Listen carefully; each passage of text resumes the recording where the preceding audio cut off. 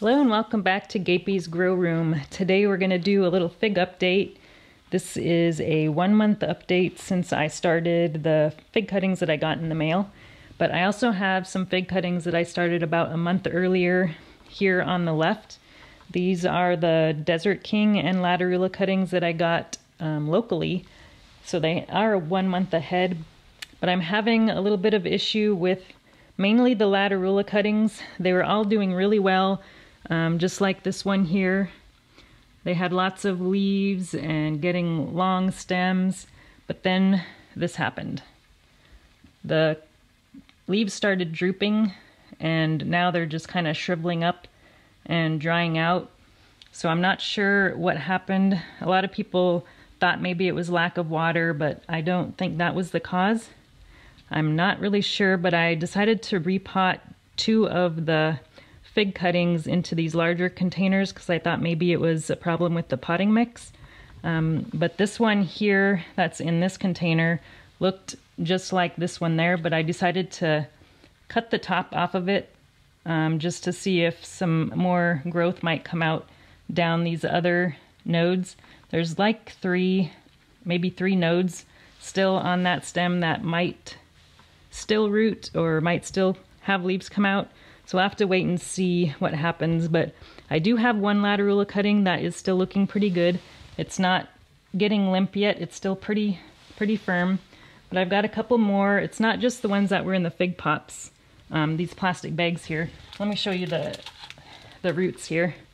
So there's some of the roots that are that are coming out on there and there's actually not as many roots as I would have expected for this age of cutting. So I'm not sure what's going on. Um, but I also have the same problem with the ones that were in these four inch containers. So it's not just the ones in the plastic bags. So this one just started um, getting droopy as well and not looking very good. So all of those are the Latarula cuttings. I have, I think one more, one more Latarula cutting right here. And it looks like it's just starting to droop. This leaf here is droopy. So I'm not sure what to do about those. I have been watering it pretty well um, in case it was getting too dry. And I've also been giving it a little bit of fertilizer as well. Um, so we'll have to see what happens. But I haven't had any problems so far on the Desert Kings. So these ones here in the front are the Desert Kings, but they don't have as much leaf growth. So this one here is the only one that has some leaf growth and it's still looking pretty good. So we'll have to wait and see what happens there. But those are all the, but they're about two months old right now. But the ones on the right are looking really good. These are the ones that I started one month ago. And I've got some of them in these bags here, as, and I've got some of them in these clear cups. And I really like these clear cups because you can see the roots really well. Look at all those roots. It's looking really great. So this is the Tacoma Violet. And I've got two Tacoma Violets. This one doesn't have any leaf growth yet, but this one here is just starting to put out some leaves. And the roots on all these are looking really nice. And then right behind that, we've got the Dalmatia. And the Dalmatia also has some really good root growth. And then we've got Negroni. So I've got one Negroni in one of these cups here. Nice roots. And I've also got a Negroni in one of these bags. So you can see the roots there in the bag. And then behind that, let's see, we've got, this is the Ben's Golden Riverside. This is a really popular variety. And it's really hard to get, actually. Um, but those are nice looking roots there. There's no, actually there's a little bit of leaf growth that's coming out the top there. See that?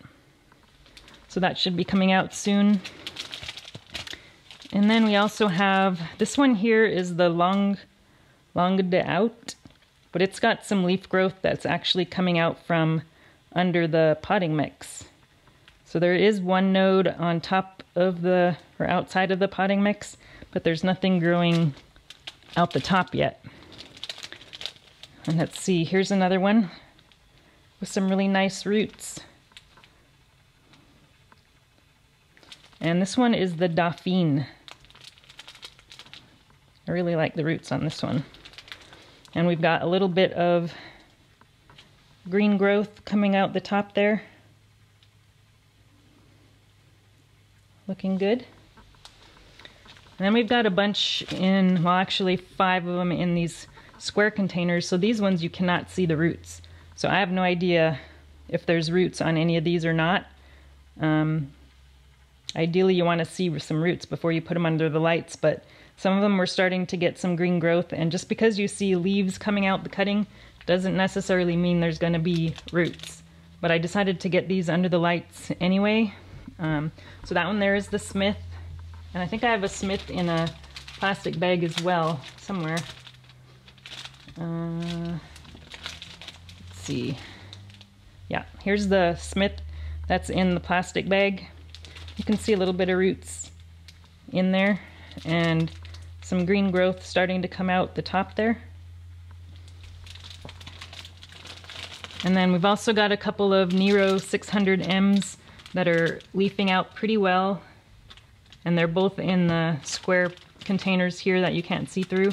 And then the one that's actually rooted the fastest and is growing the most is the Rond de Bordeaux. So I actually have three, I think three cuttings of those. So I've got two in these square pots and then I've also got one here in one of the plastic bags. So let's take a look at the roots on that one. You can see some pretty good looking roots there. So I'm pretty happy. I'm actually, there's nine varieties here that rooted out of the 10 varieties I got in the mail. And they were stuck in the mail for a good couple of weeks. So I was really impressed at how well these have done. So let's go take a look at what I have still rooting.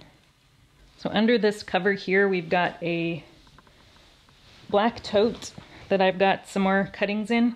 So these are the ones that have no visible roots and haven't leafed out yet.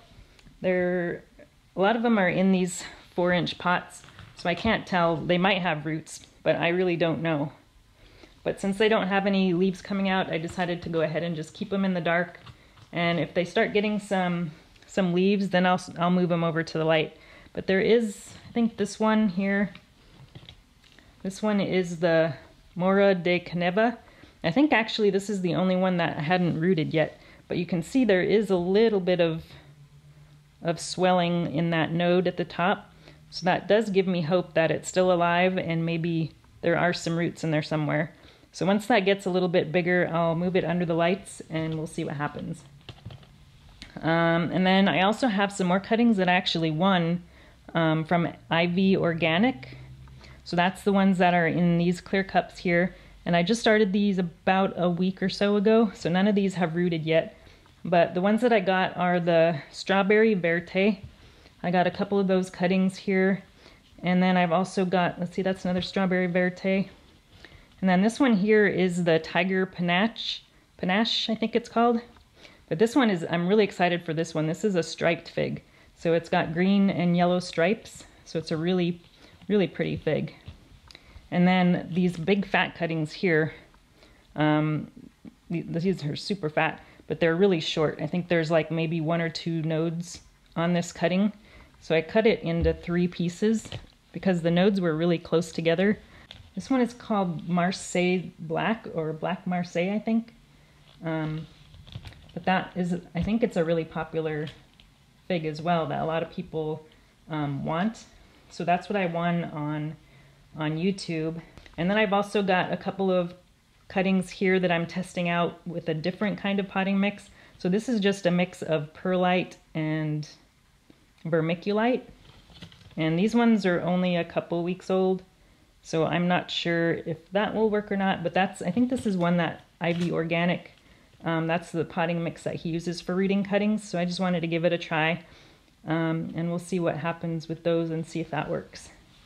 So that is all the update for the cuttings. I've also got a couple peppers and stuff in here that I'm just germinating. Um, but yep, that's all we have here. Um, and actually I also wanted to show you how I water the fig pops over here because it's done a little bit differently and I'm not sure. I think most people do it this way. I'm not really sure, but this is how I'm doing it. So I've got this little plastic, it was, I think it was a lettuce container but I like to use this for, for watering. And what I do is I pour a little bit of water in here and I also added a little bit of liquid fertilizer. And I'm using Dr. Earth's all-purpose fertilizer. And then I've got this syringe. So I'm just gonna put some of this solution into the syringe. And this is what I do for these fig pops because it's kind of hard to get the water into these. So all I do is find a hole, because I poked a bunch of holes in here, and just find one of those holes and stick the syringe in there, and then just shoot the water in there. And that's all you do. But I just kind of feel by weight to know whether it needs water or not. So this one is actually, I just watered most of these yesterday, so they have, um, I think they're pretty well hydrated right now, but I'll just put a couple couple syringes in there. So I think this one is good. And this one is the Desert King. So I'm just to feel some of these other ones. This one feels a little light, so I'm to go ahead and put a couple of these in here. So there's our hole, and then I'm just going to shoot these. I just kind of, I don't shoot it all in one in one area. I just kind of move it around so that it gets distributed evenly. And then I'll just do some on the other side as well.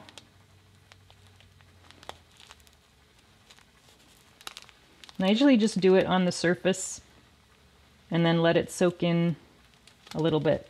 So I just put in a couple of those and that should be fine. And let's just do one more here.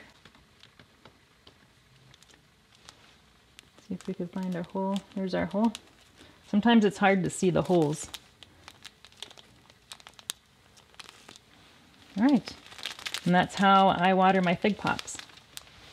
And all these other containers, I usually just bottom water it. So I do have some holes on the bottom of the, the container here, and I will just set it in there like that, and I'll just let it soak up the water from below and that way the, the top stays nice and dry. Um, you can see how dry the top is there. So you don't want the top to get too wet because that will attract fungus gnats. And then I keep those cups in, in here just to protect the roots from the light.